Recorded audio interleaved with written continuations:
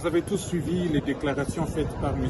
Israël Moutombo disant que moi, Barnabé Kikayabin Karoubi, je détiens par devers moi une carte de crédit Visa qui euh, est liée au trésor public.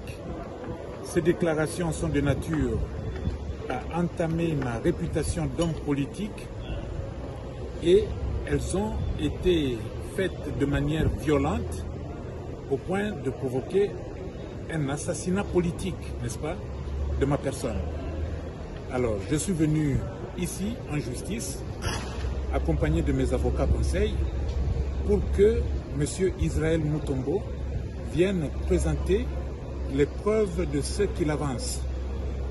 D'ores et déjà, je peux vous dire que toutes ces déclarations sont fausses et archi-fausses. Je n'ai jamais utilisé une carte de crédit liée au trésor public en dehors des fonctions que j'ai occupées pour servir le pays. Voilà, je ne peux pas en dire davantage parce que nous venons d'ouvrir un dossier ici. Nous attendons de répondre devant le juge. Merci.